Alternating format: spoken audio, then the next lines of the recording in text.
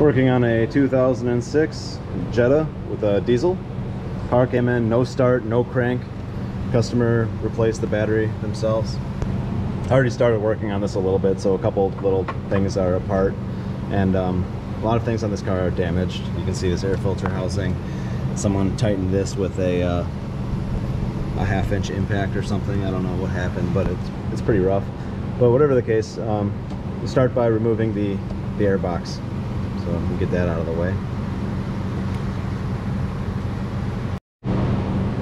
Once the air box is out of the way, loosen the power lead on the battery. Just disconnect that. You don't want to you want to deal with. Um, I just flip it out of the way so it doesn't touch. You can also just put this over the top so the terminal doesn't swing back over and destroy the world. And then you can see the starter now from the top.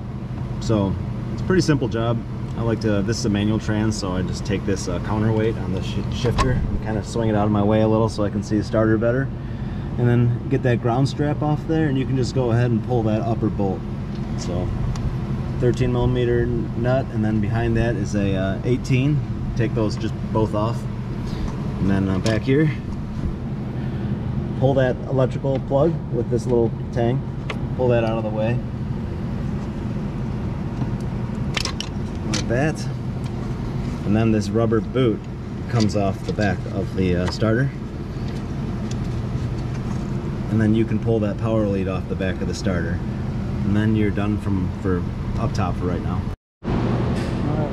I lifted the car up and pulled the belly pan off. And from the bottom side you can see there's not a whole lot to do here. All you have to do is remove this one nut here and pull that bracket out of the way. You can just take that and swing it out of the way once that nut's off there. And then the bolt underneath after that starter's loose and you can just pull it straight out from the bottom. All right it's out. Real easy job. You can see what happened here. The braided wire between the motor and the solenoid here is just corroded it's broken. So I'm just going to swap this out with a, uh, a new unit and just reverse procedure pretty straightforward and that's it. Thank you